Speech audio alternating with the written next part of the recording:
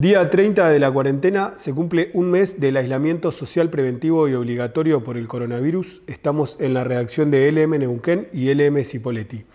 El Ministerio de Salud confirmó esta mañana dos nuevas muertes por coronavirus en Argentina y así son 136 las víctimas fatales. En total hay 2.941 personas contagiadas y 737 recuperados.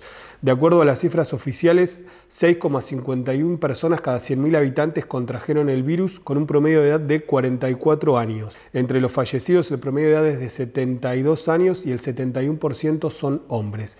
La tasa de letalidad es del 4,5% cada millón de habitantes. En Neuquén, en tanto, hay 99 casos confirmados con 4 víctimas fatales y 9 personas recuperadas. En Río Negro ya hay 127 contagios con 3 víctimas fatales y 27 personas que superaron la enfermedad. La noticia más importante por estas horas en la región es la conformación de una comisión interprovincial de monitoreo entre los gobiernos de Neuquén y Río Negro.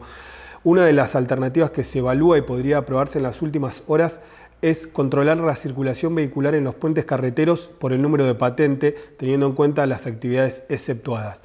Además, desde este lunes se suman 11 nuevas actividades comerciales a las exceptuadas, entre ellas aparecen algunas cuestiones médicas, rentas, eh, servicios de cobranzas y pequeños comercios minoristas que no podrán atender al público, sino que lo tendrán que hacer con delivery. En el mundo hay más de 2 millones de personas infectadas con coronavirus, más de 136.000 muertos y más de 630.000 recuperados. Estados Unidos sigue siendo el país con más casos, superando el 30% de los infectados totales en el mundo y con más víctimas fatales, con más de 40.000 muertos. Recordá, quédate en casa.